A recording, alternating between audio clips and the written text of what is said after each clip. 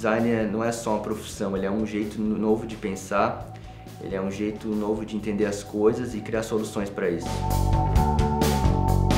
O curso ele é muito amplo, né? Então, como design bacharel, tu pode caminhar entre vários cursos, né? Como gráfico, como a moda, como interiores, como industrial, como jogos. Então, tu tem a oportunidade do, durante o curso de ir cursando, experimentando várias áreas e ver qual tu tem mais afinidade.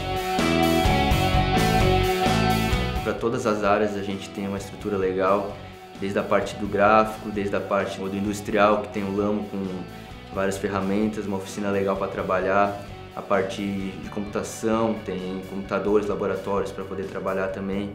Para quem optar para a parte de moda, tem laboratórios de costura, de é, calçados, de vestuário, tem a parte de joias, então acho bem amplo assim sempre gostei dessas peças artísticas que causam impacto nas pessoas, né? Acho que a partir do momento que ela causa um impacto, seja bom ou ruim, é, tem uma coisa de interessante na, no trabalho, sabe?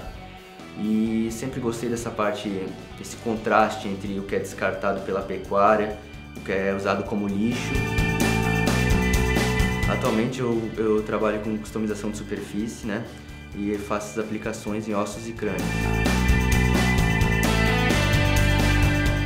Sonhei com o design autoral, sempre quis ser um trabalhador independente autônomo, então eu digo, né, quando eu trabalho em casa, na minha casa, no, nos ambientes que eu gosto, é, não tem é, lugar melhor para poder me conhecer melhor e valorizar meu próprio trabalho.